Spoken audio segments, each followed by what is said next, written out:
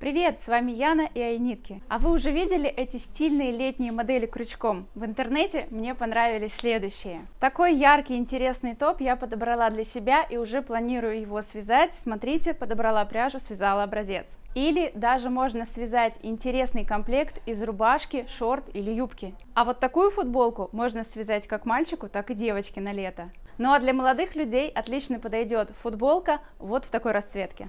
А еще больше моделей вы увидите в нашем телеграм-канале по ссылке в описании под видео. Не знаете, как связать их? В основе лежит простейший узор, который я прямо сейчас вам покажу. Пойдемте скорее в фотокуб и научимся его вязать. Давайте поближе познакомимся с этим узором. Я покажу вам его здесь, в кубе. А, он достаточно простой, хорошо смотрится как в варианте, а, как у меня связанный из секционной пряжи. Я вяжу из хлопка Катя Параиса. Он ложится секциями, а, светленькие и перемежаются с разными цветами. То есть здесь, конечно, хаотично, как а, цвет ляжет.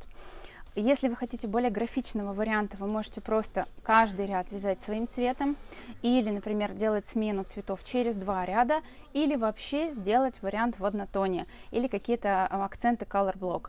Э, выбирайте модель, которая нравится вам, а мы перейдем к тому, как же все-таки вязать этот узор. Здесь у меня уже связано э, достаточно большое количество рядов, и чтобы показать вам самое начало, я приготовила дополнительную пряжу и покажу с самого-самого первого ряда, как же вязать этот узор. Начинаем мы с цепочки из воздушных петель и набираем количество петель для этого узора кратное 3 плюс одну. И для первого ряда нам понадобится еще набрать плюс одну. Сейчас я наберу 16 воздушных петель и 17 для того, чтобы подняться на одну ступенечку на второй ряд. Приступим. 16 петель и еще одну для того, чтобы первый ряд узора связать поплотнее. Сейчас у меня только косичка связана, цепочка из воздушных петель, она достаточно тоненькая. И чтобы первый ряд узора как бы базировался на хорошем основании, не был э, деформированным, мы первый ряд свяжем столбиками без накида. Для этого во вторую петельку от крючка мы вводим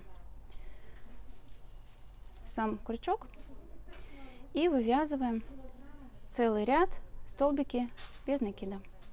Вот такой ряд у нас получился. Всего в этом ряду у нас должно быть количество петель кратно 3 плюс 1. У меня это 16 петель. Сейчас мы будем подниматься на высоту второго ряда. Для этого свяжем здесь 3 воздушные петли. И после этого перевернем вязание на изнанку. Я вяжу здесь поворотными рядами, поэтому каждый ряд разворачиваюсь. Сейчас в первую петельку, а, в ту, из которой у нас выходят вот эти воздушные петли, в основании я вяжу столбик с накидом. И еще один, то же самое место.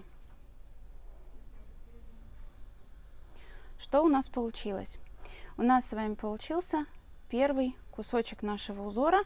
Это вот такой фрагмент, три столбика с накидом в одно основание. А, в качестве первого столбика у нас выступают вот эти три воздушные петельки подъема. Что делаем дальше? Дальше мы отсчитываем от этого места, в которое мы уже связали, третью петлю. Считаем раз, два, три. Считаем по вот этим крышечкам. Мы находимся с изнанки, нам их не очень видно, но если вы перевернете, можете себя проконтролировать. Раз, два, три. И вот в эту третью мы Вяжем следующую группу из столбиков. Раз, два, три. И вяжем три столбика с накидом в одно и то же место. Дальше повторяем до конца ряда. Снова делаем накид, снова отсчитываем. Раз, два, три. В третью петельку вяжем нашу группу из столбиков. И из этой группы э, будет состоять весь узор. Больше мы ничего другого вязать не будем. Это очень-очень простой узор вот такой. И заканчиваем ряд мы точно таким же э, узором, точно такой же группой из петелек. И здесь мы э, провязываем самую последнюю петлю ряда. То есть раз, два, три. Вот сюда мы провязываем последнюю нашу группу петель.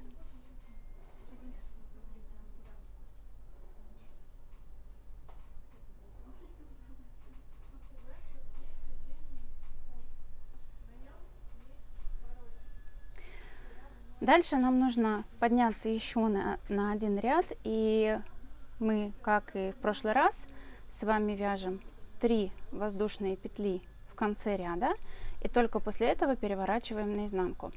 Что мы здесь видим? Здесь мы уже э, не должны ничего считать, начинается самая э, такая приятная часть провязывания узора, когда у нас есть с вами вот эти большие дырочки, в которые мы как раз и будем вязать наши группы петель.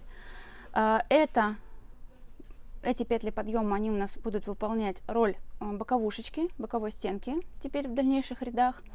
Мы делаем накид и вот сюда ныряем крючком и вот из этой дырочки провязываем ту же самую нашу группу из трех столбиков с накидом. Вот таким образом.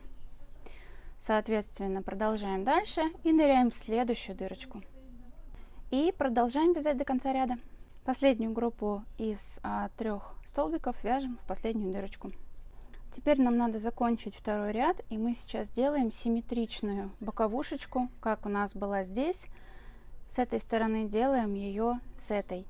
Для этого мы вяжем один столбик с накидом и опускаем его, основание делаем э, верхнее из вот этих трех воздушных петелек, которые мы поднимали здесь на следующий ряд.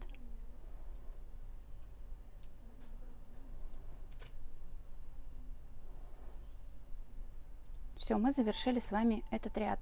Теперь вот эти два ряда, они просто будут у вас чередоваться. То есть сейчас, смотрите, мы поднимаемся тремя петлями на следующий ряд, поворачиваем вязание на следующую сторону. И вот прекрасно видим наши дырочки, в которых мы провязываем наши группы столбиков. Опять же, как и в первом ряду, здесь три воздушные петли, они уже играют роль одного из столбиков. И в первую дырочку нам надо провязать всего лишь два